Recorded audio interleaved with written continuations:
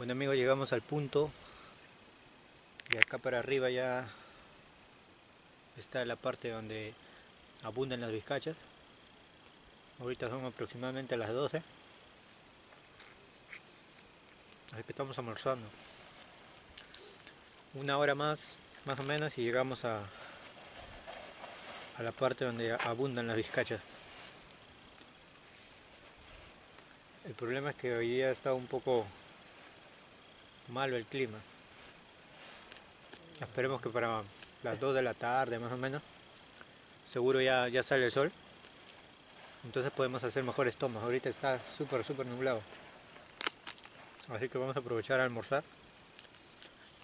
Vamos a ver con qué nos topamos más adelante. Estamos como, como a media hora de, llegar hacia donde hay bastantes vizcachas.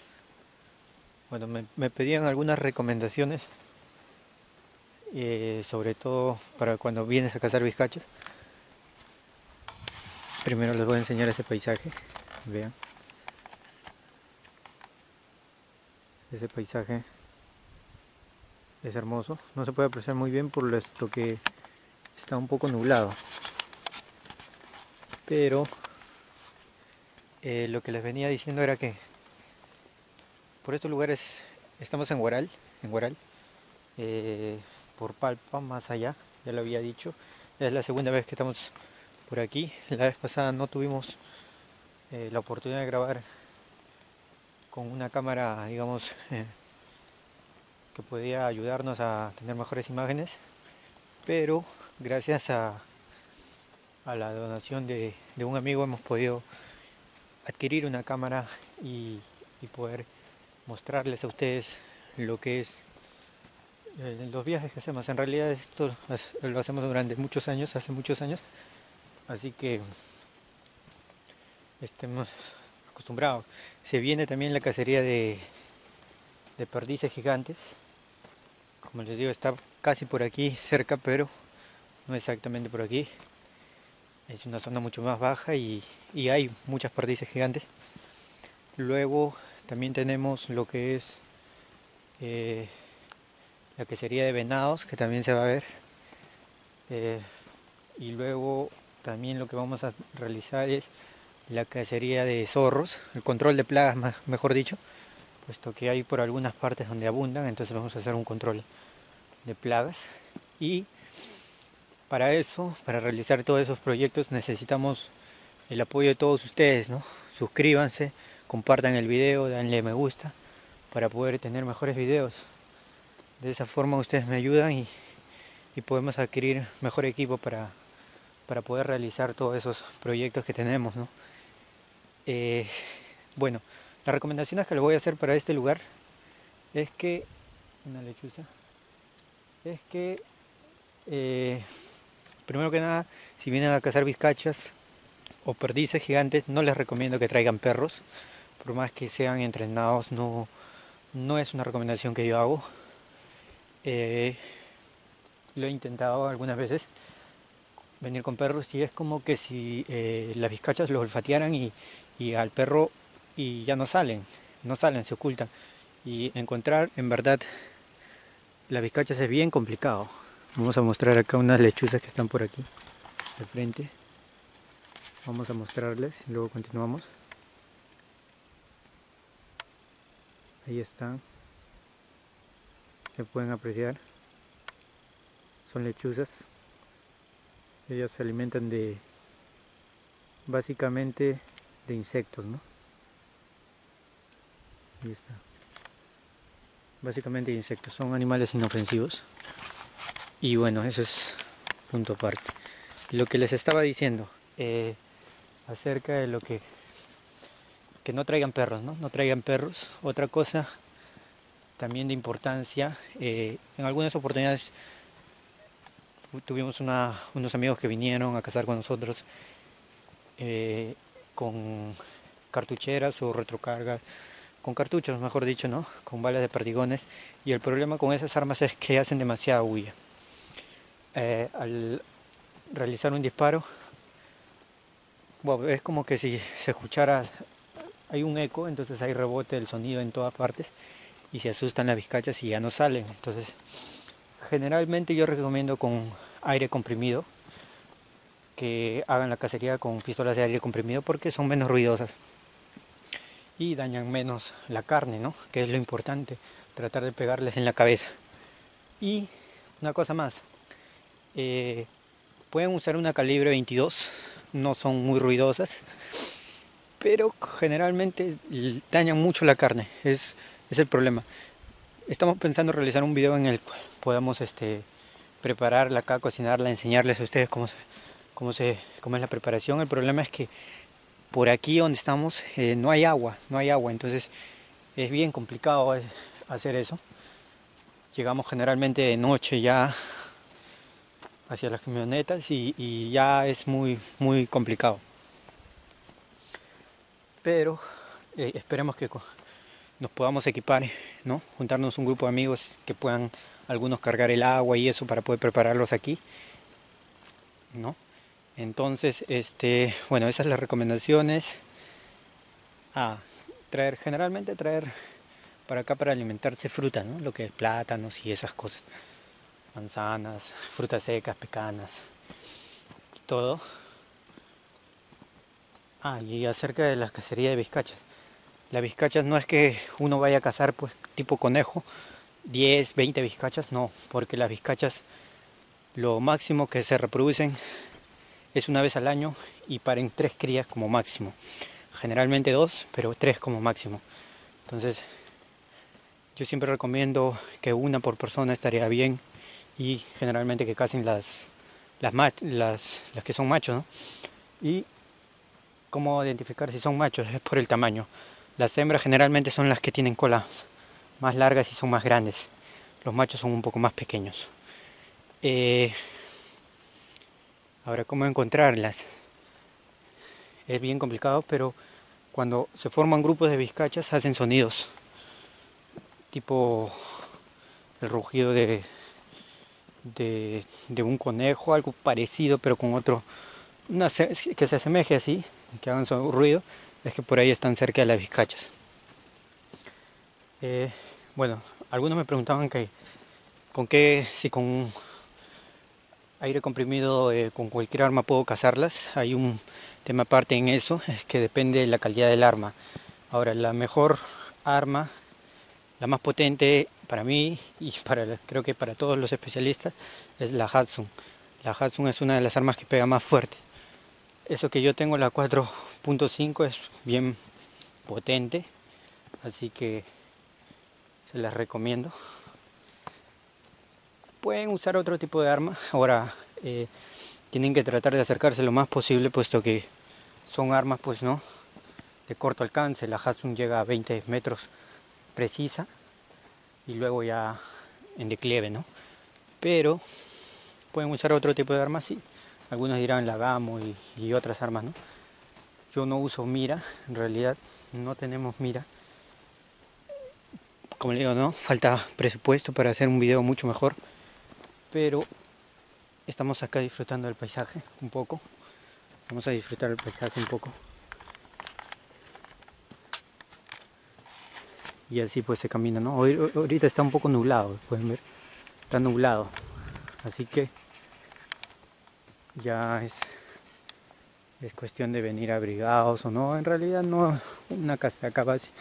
Por ejemplo ahí el pana está con con chor y como se está caminando no se siente el frío, ¿no? Eh, no se olviden de, comentar ahí las, las ideas, lo que podríamos agregar y todo eso. Ahora estamos yendo hacia un lugar que es la cascada, le decimos así, tiene figura de una cascada pero es seca, ¿no? Ahorita vamos a ver. Está como un par de, de minutos más de acá unos 10 minutos seguro. Eh, bueno, como le venía diciendo, ¿no? El arma que yo uso es la Hudson 4.5. Mi, para mí sí es un arma que pega bien. He podido derribar inclusive a, a una muca que le llamamos acá grande a una distancia de 20 metros, ¿sí? Sí tienes que pegarle en la cabeza, ¿no? Tienes que pegarle en la cabeza. Y es precisa, pues es potente. Por esta zona generalmente no vamos a encontrar nada, puesto que no hay rocas. De vizcachas no vamos a encontrar nada. Eh, ¿Dónde vamos a encontrarlas? Donde hay roca sobre roca sobre roca. Eh, es por eso que una vez que se esconden ya es imposible que salgan de ahí. Por estas zonas no, no casi vamos a encontrar. Así que hay que tener en cuenta. Ya vamos a llegar a donde hay muchas, entonces van a notar la diferencia de aquí con allá. Acá es más arena, entonces no, no hay mucha. Pero estamos haciendo el video porque habían comentarios de que querían que narre y otras cosas. Hay muchas experiencias en verdad que hemos vivido, pero inclusive hay que tener cuidado con, con las tarántulas, ¿no? Puesto que no son venenosas, pero sí hay también por aquí tarántulas.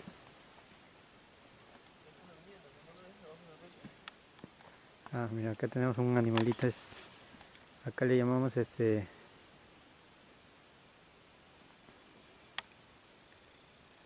la ciega, porque no ve en el día, ¿no? Se levanta solo en la noche a comer insectos. Un poco más. Ahí está.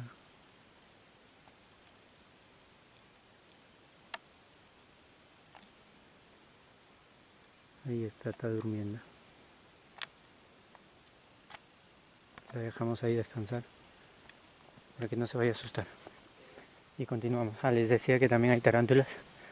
Entonces hemos, hemos encontrado una, en algunas ocasiones culebras pequeñas también, zorros. Llegamos a la cascada, bueno así la llamamos nosotros, la cascada seca. Generalmente en tiempo de lluvias sí hay agua por ahí. En esta fecha no, pero hay ocasiones en que sí. Así que vamos a tratar de, de acercarnos un poco más a ver. Había ocasiones en las que una lechuza común, como le llamamos lechuza común, se, se quedaba ahí a dormir, era su, su nido. Su nido no, digamos un lugar de, donde dormía porque ellos anidan mucho más alto. A ver, vayamos a a ver. Vayamos a ver.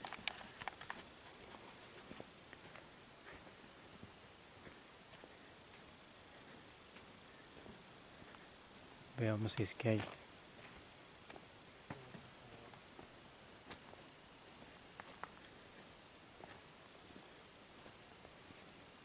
Como les dije, también podemos encontrar culebras.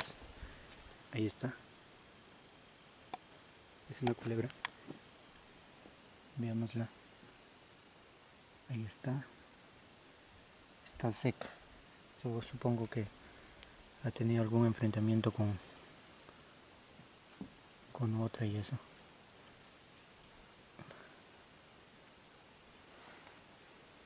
Y está, está muerta por la forma en la que está enrollada, ha estado peleando. Algo se estuvo enfrentando y cayó en el enfrentamiento.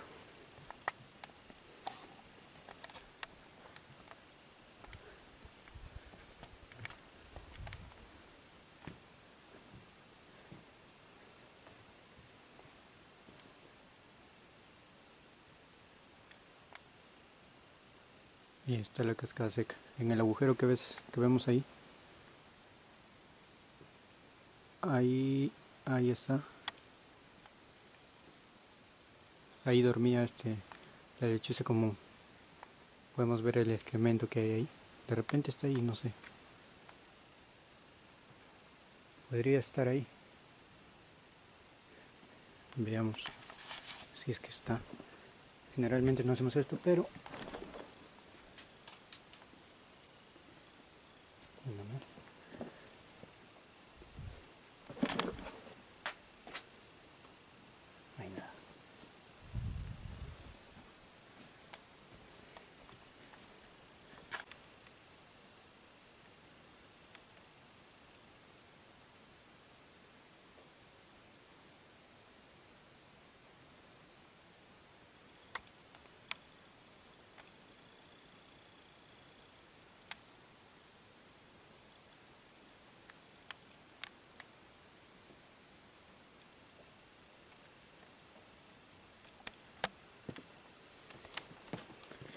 Veamos qué podemos encontrar por aquí.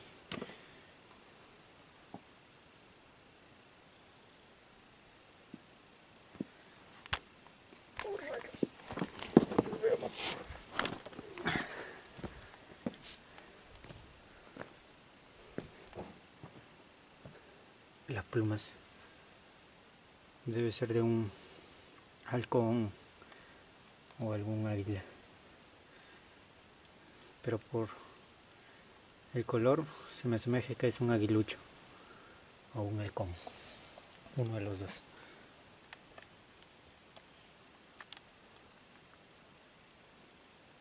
Vienen a estas zonas generalmente a comer esas presas, ¿no? Que es vizcachas, lagartijas, culebras.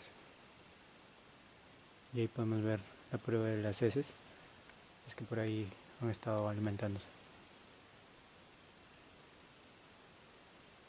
Seguimos.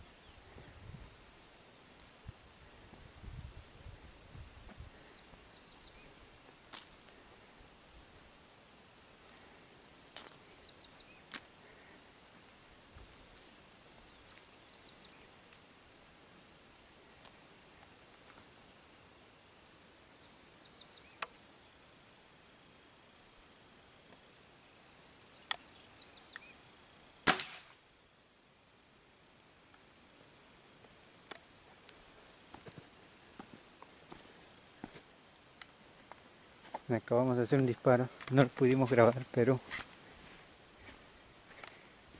como dice el disparo no lo pude grabar. Pero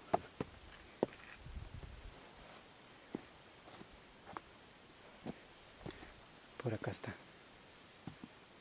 Joder por acá estaba. Ahí está vamos a ver si si le podemos sacar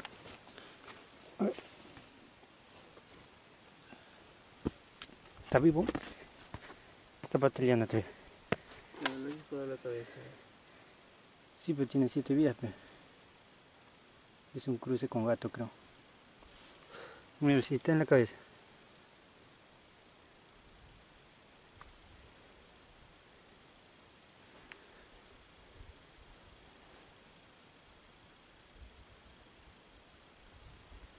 Sí, justo en la cabeza le hemos dado. Es un macho.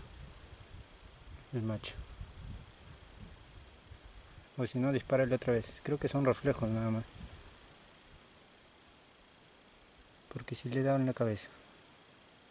Toda esta mandíbula está quebrada. ¿Ves? Está quebrada su mandíbula. Sí, está quebrada, todo está. En la cabeza está quebrada.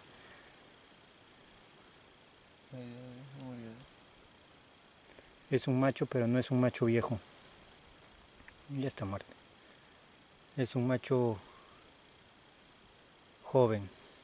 Debe tener más o menos dos años. Es grande. Es joven. Como les dije, los machos son un poco más pequeños, las hembras son más grandes. Tiene bonita su piel. Ahora sí, a freírlo. Para la fritanga. Seguimos a ver si... Bueno amigos, esta fue la cacería de hoy. Lo que cayó hoy día es un macho, como les dije, solo esto pudimos abatir, tuvimos dos oportunidades más, pero fallamos, así es esto, así que vamos a, freírla antes que, antes que nos llegue la noche porque ya son alrededor de las cinco y media más o menos, así que vamos a ver aquí llegamos abajo al pueblo, así que vamos a ver si la podemos compartir mm, eh, algunas imágenes de cuando están fritas y si no ya será la próxima. Hasta la próxima gente.